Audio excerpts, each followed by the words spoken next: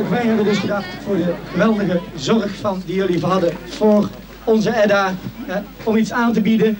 Iedereen heeft ervoor gezorgd, jullie, eh, zowel Michael, Muriel, Yvonne en jij. En hier dachten we dat je gezamenlijk iets aan had. Het is dus een origineel model van een echte huiskaar uit het Rijtuigenmuseum op schaal Uiteraard zijn we al diegenen die ons tijdens deze trektocht geholpen hebben, dankbaar. Maar het meest dankbaar zijn we toch ons trouwe paard Edda... dat ons 1450 kilometer lang heeft voortgetrokken... en ons nooit in de steek heeft gelaten. Ga mee, Pop.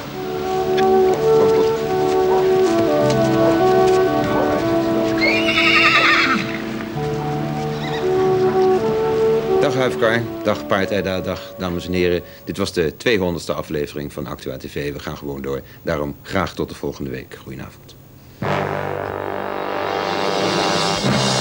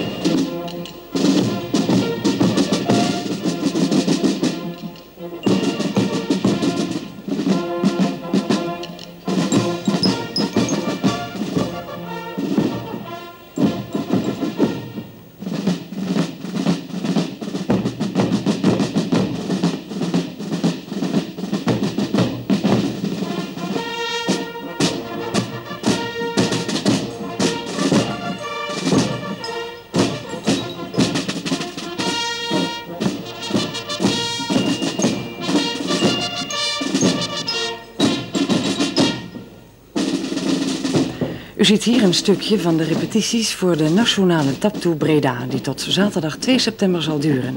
Een jaarlijks gebeuren dat tienduizenden belangstellenden trekt. U kunt dit meemaken, want de Tros Televisie brengt het aanstaande vrijdagavond bij u thuis.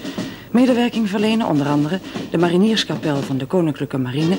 en de kapel van de Koninklijke Luchtmacht. Dus vrijdagavond aanstaande, even voor tien, bij de Tros op Nederland 1.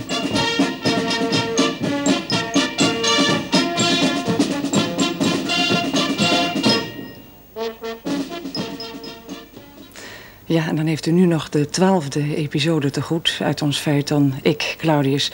En ik zal proberen om in het kort te vertellen waar het de vorige week allemaal over ging.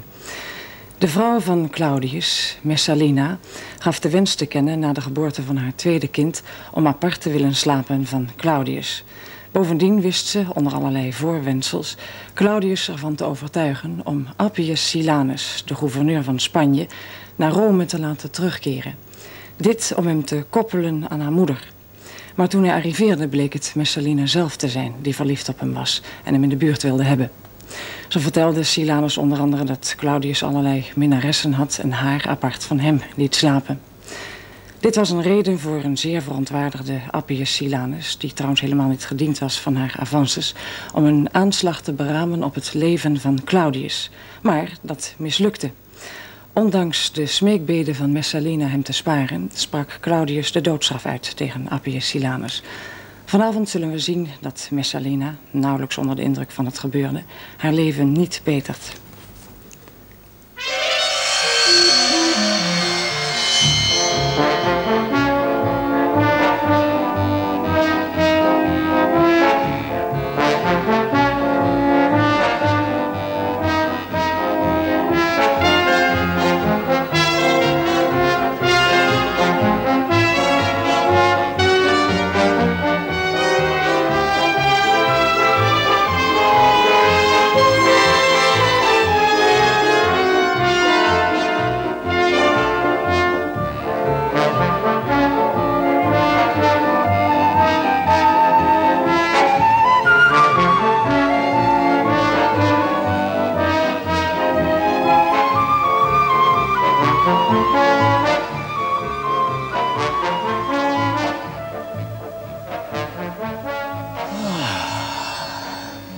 Does it hurt? well, of course it hurts. Do you think I'm made of wood?